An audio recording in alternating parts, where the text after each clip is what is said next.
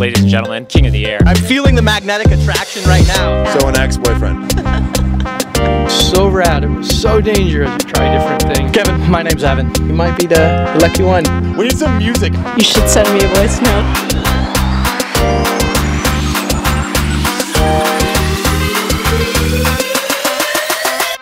I love it. I love it. I love it too.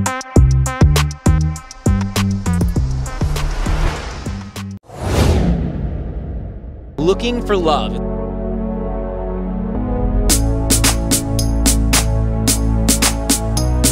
Join us on episode 2 of Love at First Kite. where our contestants will meet with pro rider Colleen Carroll to see if she and the Duotone kiteboarding brand are right for them.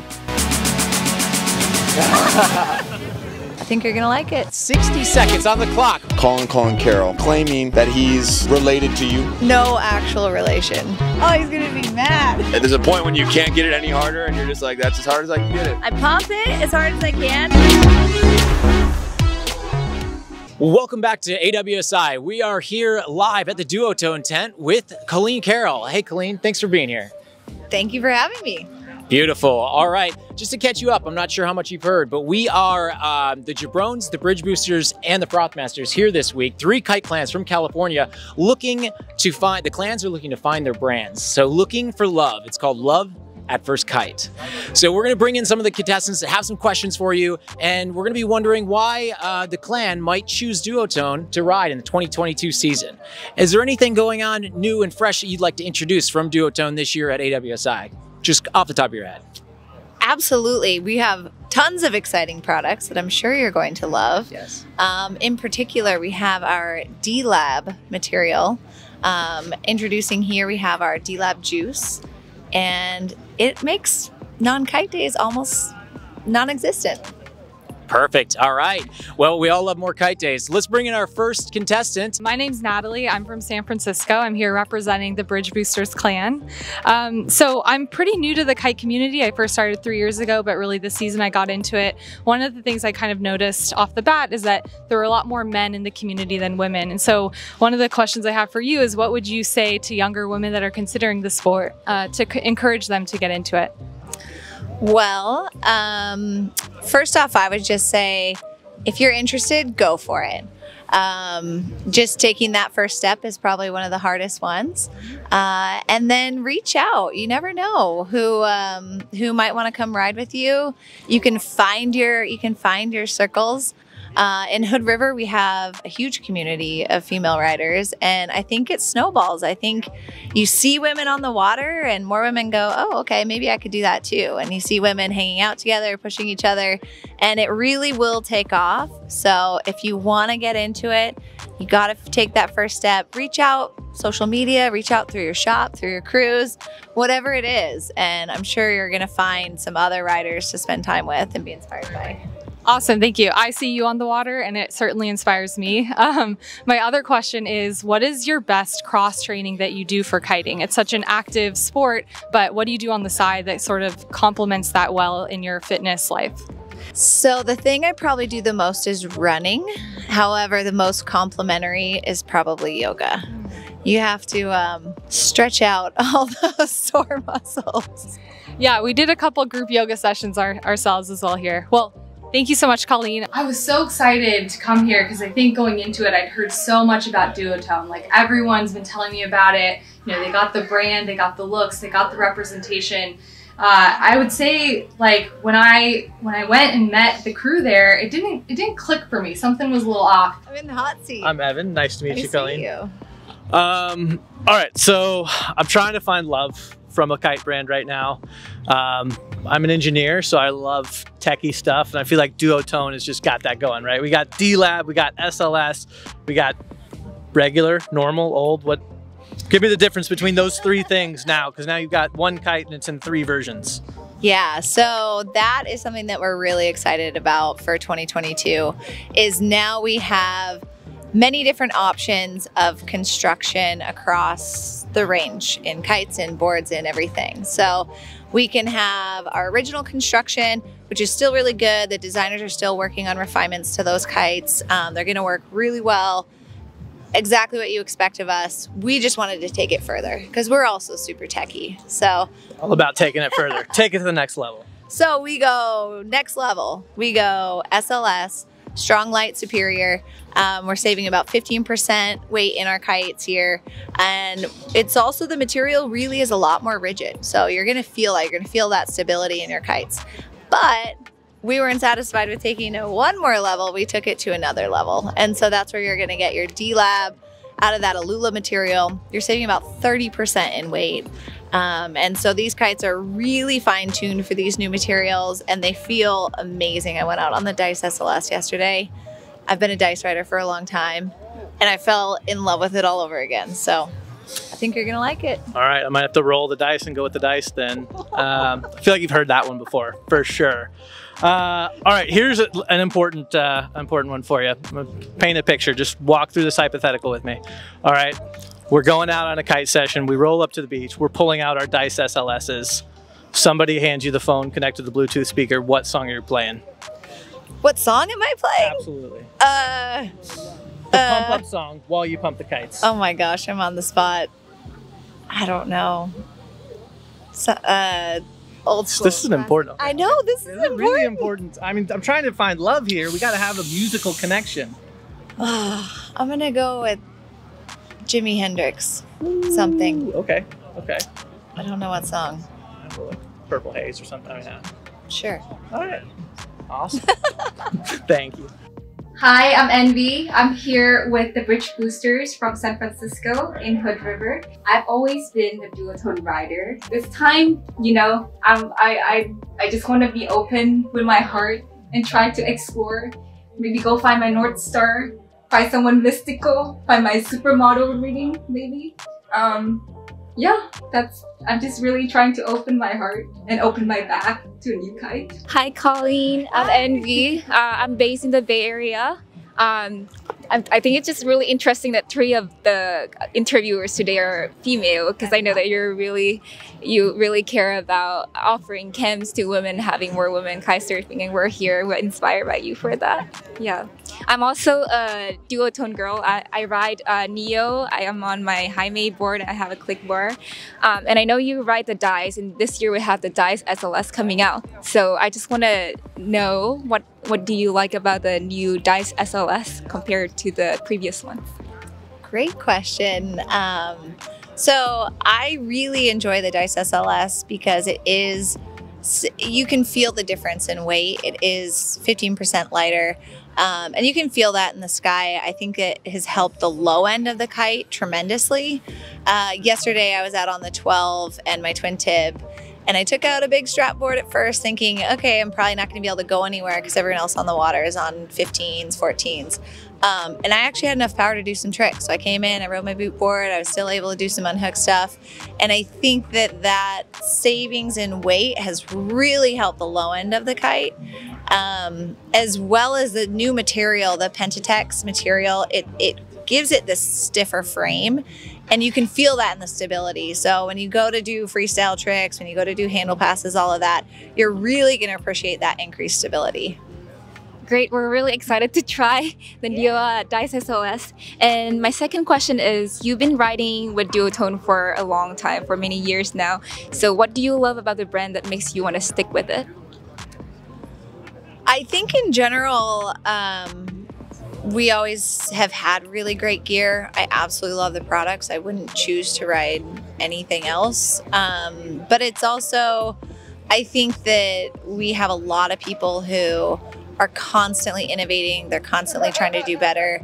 I think in general, as a brand, they're never satisfied. So it's kind of like they always want to try to find what's next and what's going to be the next best thing.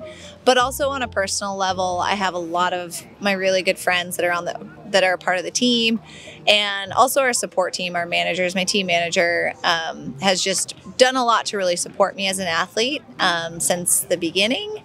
And so I think that that, especially in a small industry like that, that's super important is those kind of internal relationships. Thank you so much for the answers, and I really hope I get to ride with you in the water one day. Yeah, let's Yeah. do it. Yeah, I've been with Duotone for a long time, but we've never really had an official date, you know? And so far, it seems like the le- relationship's been a little bit stuffy for me. I need to have some air out from this relationship, and we'll see. This time, wondering if I actually fell in love too fast with this friend. I always been riding my Neo, riding my Jaime, riding my click bar, but so far, the back has been getting smaller. I, I just wonder if it's really a good fit. I really tried to organize around this relationship, but it's just not fitting in the back anymore. You know, like we can work it out and make it a good fit.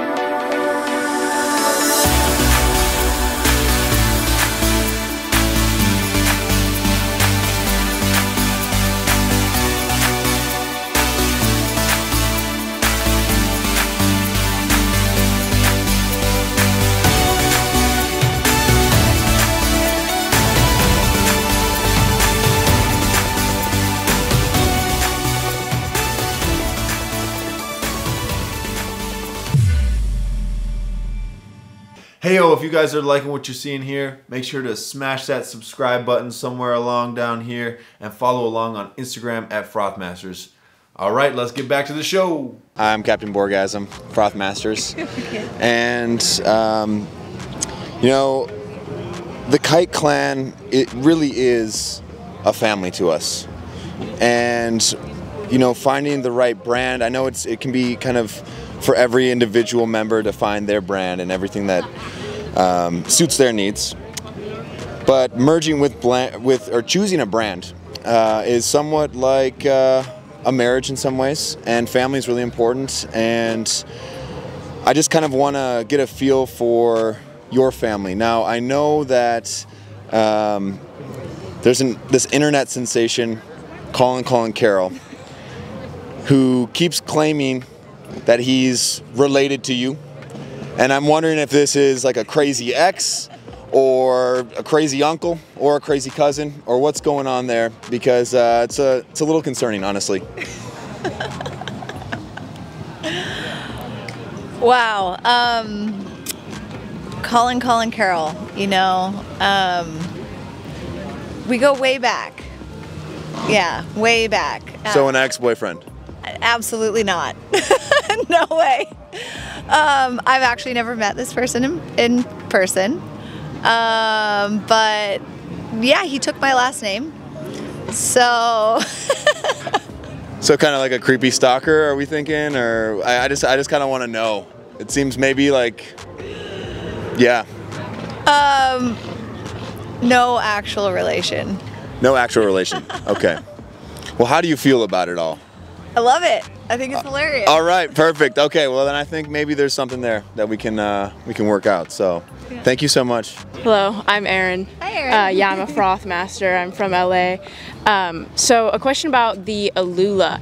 I know some of the brands who have been like, um, who have started using the material uh, have noticed that like it deforms a little bit, like where the stitches are. What what is duotone like? How are they engineering their kites to combat that? So, I'm not even going to try to get super technical with you because That's fair. That's we fair. have we actually have our kite designer in house here at the event. He would for sure be the one to go into the fine details of that. Absolutely. Um, but as we as we've been talking about all weekend, um, they definitely have been dealing with ways um, to make sure that that's still strong, that we're not going to have any deformities. Um, they're noticing that kind of where the stitchings, where the stitches are happening in the seams, and so they've completely redesigned um, the seams to make sure that we're not going to see any of those deformations. Yeah, yeah, I've I've definitely um, heard that from a lot of kite companies as well. Is that's like kind of the general solution to it. Um, super interesting. I really like the Aluula material myself, so I'm excited to try some of the kites. Um, but besides that, uh, some of the bridge, I'm going to speak on behalf of the bridge boosters for a moment. Uh, some of them have complained that the kite, the kite bags are a little bit too small and maybe don't quite fit the whole kite in there. Um, they call them bowling ball bags. Um, what do you have to say about that? Have you ever had that issue? I I'll answer the first question. I would like to offer them all kite packing lessons. all right, all right. You hear that, Bridge Boosters? Uh, and then otherwise, they're they're a little bit smaller. Uh, I do believe if you pack your kites well, it's really nice because you can f- you can make them so much smaller. And especially as we get into our SLS material and our Aluula materials, it packs up smaller. It's easier to get them in those bags. And who doesn't want more compact stuff to haul around all the time? Right, right. Totally get that. All right, great. All right, we're coming to you live for a competition, kite packing competition at the Duotone tent.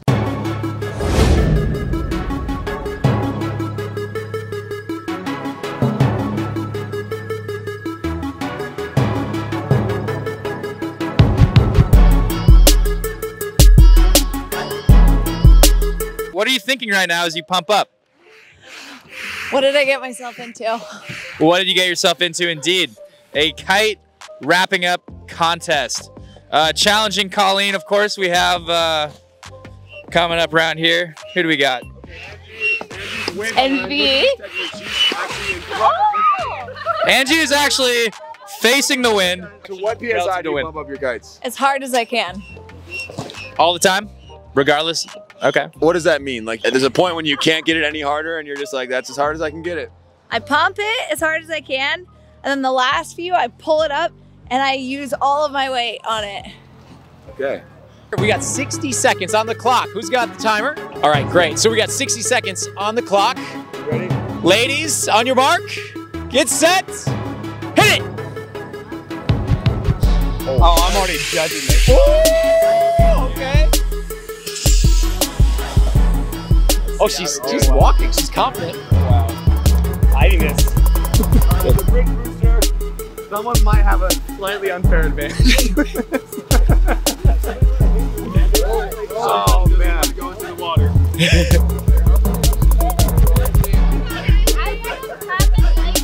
I think there's a deflate valve. Oh. 30 seconds. Oh! Yeah. The entire way across. Interesting strategy. That's an episode. Oh, that's someone's That's gonna- standard Duotone track. What we got? Okay. That's uh, that's Current time, 47 seconds. 47 seconds. 10, 9, Nine, 8, eight, seven. Oh, she's pretty close. 5, 4, 2, 1. Minute has passed. Good Well, ladies and gentlemen, there's a reason she's a pro. How many bottles of beer can you fit? Oh! It's all right. How much space is in there? oh for sure. A minute and 10 seconds. Oh, oh, oh, bridge boosters. Uh oh. Two hours later. This is good bridge booster content. I'm loving it. Great job, Colleen. Colleen, you killed it. We can see why the bridge boosters are always worried about um, the new bags of Duotone. It seems that uh, their packing abilities, they need to go to some lessons. They have some lessons from Colleen. Maybe she'll uh, get with them later. They are not packing like the Frothmasters or Jabrones. We'll just say that.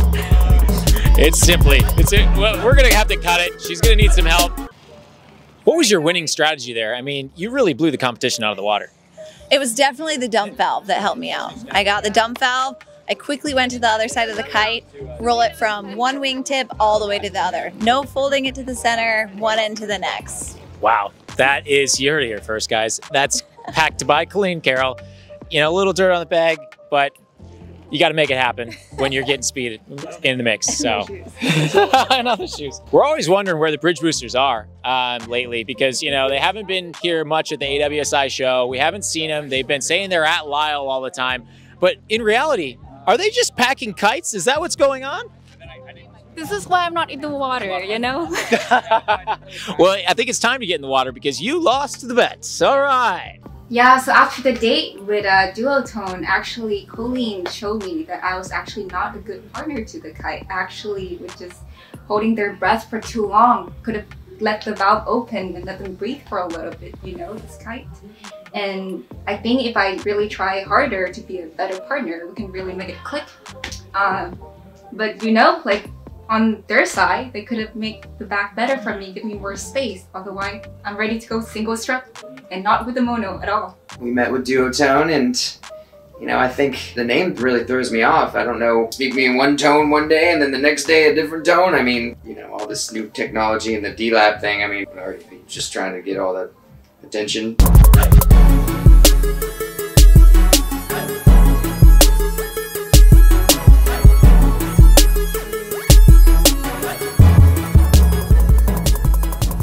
In the next episode of Love at First Kite.